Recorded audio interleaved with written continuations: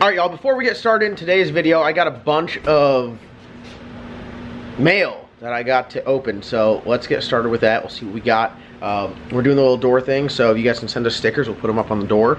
And uh, we had a bunch of different companies reach out to us to send us stuff, and the door thing's pretty cool. Uh, we got oh, we got we got a bunch of stuff here: Alki Diggers, Holley, Dart, sorry, Dart and Sleeves, uh, Performance, Cam Motion, Deter's Custom Finishing, RJS, Panty Dropper Racing, T&D Machinery. Uh, I mean, there's so many up here. Race Parts Solution, Clapped Out. I mean, I'm trying to read them through the little viewfinder. It's, it's quite interesting. Let's see what we got going on today. How about that? All right, so I already got a, a, bunch that I opened for just from packages from the past couple days, and uh, I got some more DCF Deter's Custom Finishing stickers. I can't thank the guys over at Deter's enough. Josie absolutely killed it. Uh, the intake he had his boy Dirty Mike doing, and it just looks absolutely awesome. The camera doesn't really do it justice. I can't wait to get everything on the car to show you how awesome it is. But uh, C used one of his guys is ZZGFX, so I think that's uh, graphics. This, I think this is the guy that does all of his stickers. So J C stickers are absolutely killer, uh, along with a bunch of Dieter stickers. I mean, I got a bunch. This is my favorite one. It's a black carbon fiber sticker. We're gonna put this on the back of the Grand National. Um, he's got the blue outline, the red outline, the hashtag DCF ev everywhere. And then we've got a big one, a big DCF sticker for the other door because we gotta let everyone know who polishes our stuff. Uh, along with that, his boy, another black carbon fiber one. I absolutely love these stickers. This is uh, Jacobs Welding and powder coating. He's the guy that did the powder coating on our tank up there with Joe C. So I can't thank guys enough up at Deter's for doing an amazing job. Uh, we're gonna do a little photo shoot down in uh, Bradenton with the accidental show car. Uh, along with that, I got some Wilson stickers because, you know, we got to love our guys at Wilson, Wilson Manifolds. Um, they sent us some fuel rails. They sent us uh, a throttle body and a bracket system with that, and it's absolutely awesome. So uh, myself and the guys at Wilson, I, I cannot tell you how much I love everything that the guys over at Wilson do, uh, and they're just an absolutely amazing company. Uh, some more DCF stickers, absolutely awesome. Let's see here. This is from David, some stickers for your door, a carburetor sticker, turbo sticker, and Summit stickers. So, can't forget Summit. We actually use the backside of Summit, which is A-Tech, but we got a bunch of stuff off there. Demon carburetors. Wouldn't know one of these if I was staring at it, or if someone threw it hit me in the face. Wouldn't know what that is. That's going on the door. And then I got a uh, blown money sticker because who doesn't get along with that? David, thank you for sending us that stuff. Let's see what we got going on here. We got a big box from Let's see, who's, who's this from? This is from Dart Machinery. Ho ho Ben! We got a box from Dart. I don't know. I'm trying to open it with an Allen wrench. They, first impressions, Dart uses some very secure packaging techniques. Kicking my Allen key's ass. Oh, we got a banner. God, I love banners. We have so much space in the shop to put these banners up. It is absolutely awesome these companies get behind us. Wow. Ben, look at this. This is nice. This is nice. As you guys know, I'm running the Dart stuff on the world record motor. Look at that. It's a nice fancy banner. That's a good looking banner. I like it. Here, take take that for me. Take it in the other room. Let's see what else they sent us. This is a, this, this box has some weight to it. Oh, oh boy. Oh boy, they sent us a little bit of everything. Oh my God. Ben, they know you too well. Come here. From the guys at Dart, just for you. You're not going to believe what they got you. We hung out with the guys at Dart up at the PRI show. wow, that's look at the packaging. I'm impressed, oh my god! And then they sent us some shirts. So thank you to the guys at Dart. Yeah, thank you. Love the product. We're gonna try to go faster the cylinder heads. And they sent us some uh, some stuff to look at. Wow, they want me to spend even more money. Let's see what we got here. This is from American Speed Shop. I watch these guys. These guys actually do the motor for Juan the Bullet's car. That's your guy, Juan the Bullet. Phil's standing behind the camera, a little behind the scenes. Yeah. Let's see what we got here. All right, here. Oh, I sent you big stickers. Hey man, hope the sticker is big enough. It is quite large. Oh god, it's black carbon fiber. That's like my favorite sticker. Um, American Speed Shop is a performance-based machine shop.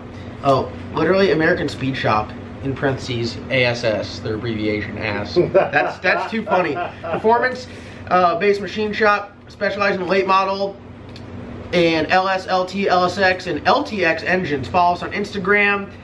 Keep on keeping on, man. Love the videos. Want to haul ass? Call ass. Wow, literally the best slogan ever. They got their Facebook. I'll put up on the screen at Ass Machining. I love it. I love it. So check those guys out. If you guys watch the Bullet One WS6, um, he uh, he uses them. They they take his motors and, and machine them and make them go fast. So um, listen, if you're doing Juan's motor, you best tighten the head studs another 10 pounds because he's going to need it to keep up with me this year. Uh, other than that, I think that's all we got going on. Let's get into today's video. If you can't tell by the thumbnail, it's going to be hot and spicy. All right, another day, another Colorado video. And what do you know? Joey's got his hands in the rear end. Just another day here at LS Nasty, starting off pretty weird. All right, so last uh, last video you guys saw, we were talking about uh, the transmission. We got it in there. Oh, Like that? It's gonna work. that's nice. It's gonna work. Now, what's your what? What are you gonna do? Are you gonna drill holes into this? Yeah, I'm gonna I'm gonna drill holes in the to go into the mount, and then I'm gonna weld it here and I'm gonna weld it on the top. And is that the, the perfect? Look, it's sitting there right there. Wait, is that the? Did you take the zoomies off? Oh wait, no, the zoomies. Are still in place, sir. Wow. Wow. This one about fell out, but we're all right. But yeah, It's sitting there right now. it literally it it's got it in in its exact orientation that it needs to sit in, huh? All right. All right. So what are you doing today? Let's let's talk about. Hold on, let's let's just talk about the people. Let's talk to the people about rear end. So this right here is Chevrolet Performance Sport. I think it's a seven and a half inch, yeah. ver- rated for about seven horsepower. Got an open carrier in it. Open carrier. And so here, will that rag get caught up if we spin it? All right. So what we're talking about, open carrier. Sorry, sorry, sorry. Is this? So One- see how one's one, One tire fire. this right this right here is a one tire fire. See how one tire's going? The other one oh it's eating the rag. Hold on. Ah, It allows for this one tire action, which is good if you're driving around on the street, not good if you're trying to rip burnout and go drag well, I'm gonna tell you right now, this rear end ain't gonna last anyways. It's got a little bit too much wear in it. Holy smokes, that is bad. Do that again. So you, oh man, that thing is. You could you could actually see the wear on the gear like no tomorrow. Uh, so what we're gonna do here is, as you guys see how this moves. Well, if you weld these gears up, if you weld all these up, it becomes a spool because Making our own spool. yeah, because each wheel is going to be locked together then, and then the whole thing just has to spin. Um, doing burnouts and everything exciting like that, that's the only way to do it. One wheel burnout is not fun. No, it is not fun. But um, we're not going to build this rear end because there's like no aftermarket for it. It is just not nearly um, enough. Yeah, it's not near. It doesn't have enough ass. This is not a man rear end. This is a little boy rear end. Yeah. And this suddenly got even weirder of a video talking about little boy rear end. on on this is gonna be a tough video to edit, folks. Um, we we are building an 8.8. The 8.8 is like, I think the ultimate budget rear end Yeah, it really because it doesn't. So this thing, what is nice about this rear end is it doesn't. You don't have to buy a nine inch third member uh, or center section. Um, everything goes right in the back. One thing that is dangerous about this is there's definitely not C-clip eliminators. So if we're doing a burnout and we break an axle from all our horsepowers, we could literally lose it right out the side. Ben, we have great experience with C-clip eliminators, don't we? With without C-clip eliminators? Oh, it's not a good time. No. What happened the last time we did that? We, we wheel. and an axle and a drum brake right out the side. And this is perfect. This, if you're looking for a good recipe for disaster, drum brakes and then no C clips. Or I should say, no C clip eliminators. This thing has C clips. Uh, and you are ready to go down Schitt's Creek without a paddle. Yes. So, this is Fun. the, the only way that we're going to keep this rear end alive is if we weld it up and then we keep the shitty tires on it so it doesn't see any load. It just goes into instant wheel spin. which is the only way. Don't you agree, Ben? Only way to keep this rear end alive is plan for instant wheel spin. Yeah. Well, that's what it should be. So, so we are uh, we're ready to weld it up. So what the strategy here? Which I'm also gonna talk. I'm like all over the place. It's like I just did crack. I don't know what just hyper. Um, we're just gonna literally fill this in until this is a giant block of filler rod. Spin it around And do the then other and do the side. other side. Phil, what do you think about that gear? Mint. Oh God. That play is mint right now. That is mint. The old Miller spool coming up. I said, I said, the Lincoln Locker. We're calling it the, the Miller Locker. so I said the perfect recipe for disaster. No C-clip eliminators, drum brakes, welded diff. Oh, we're gonna be sending my brown sugar in Maryland. That lean. That lean. like lean. my engine stand when, when you roll it too much and it doesn't have the C-clip on it, and, uh, And the wheels. yeah, and then you, the motor falls over. Except for this is gonna tip over on the side. Phil. What you doing?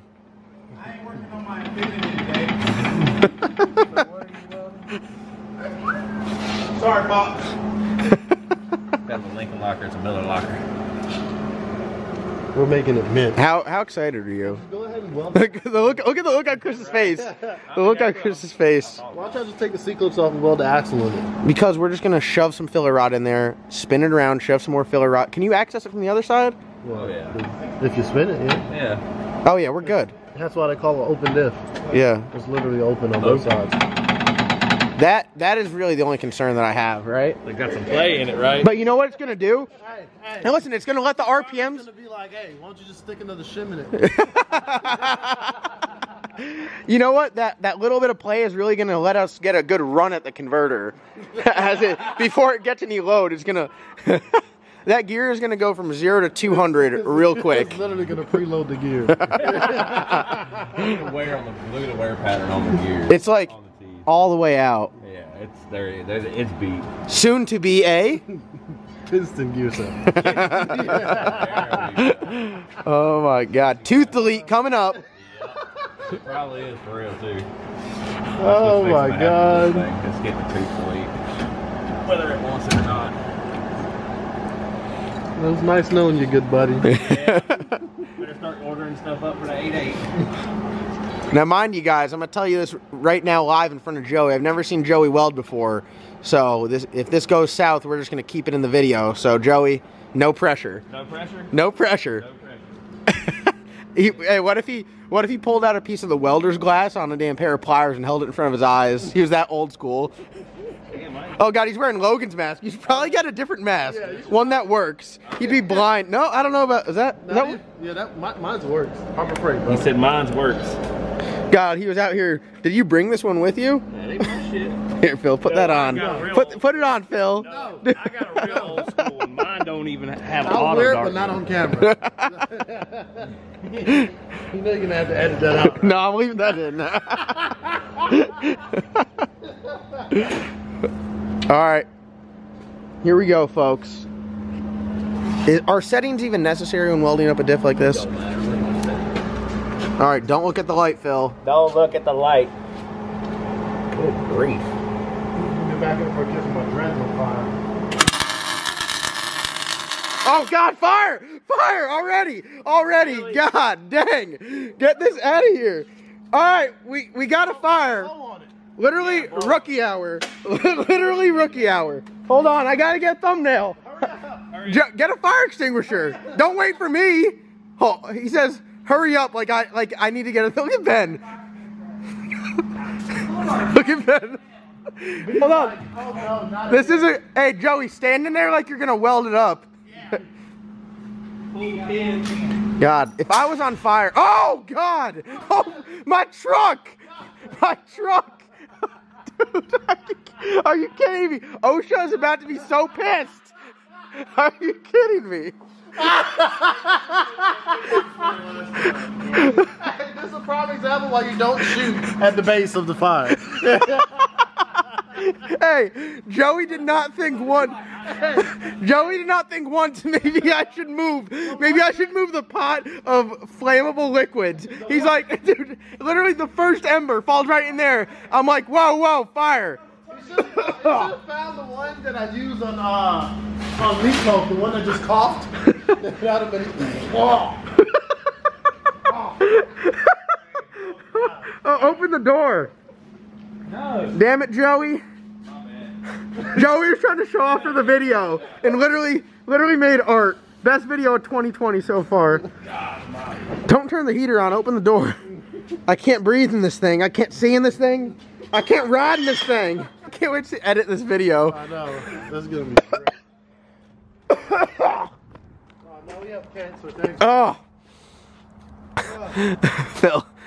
Phil, give me a, give me a play-by-play of what just happened. Oh happened. my God. So Joey, you know, obviously doesn't work with flammable liquids all the time. So my man left uh and basically uh fire starter kit. Look at Chris. He's so over this. He's like, I just showed up here. One minute. Joey, you can take that home and hang that up. Wall art. That's what you call not using your brain. Hey, he was still welding. I was like, hey, fire. Bro, Kingsford barbecue starter pack. he started welding. I said, damn, that MIG welder's hot as shit. I am weak. I am. uh, Guess we're gonna go home early today. Unfortunately. I'm dead. I am dead. I, I gotta pause this.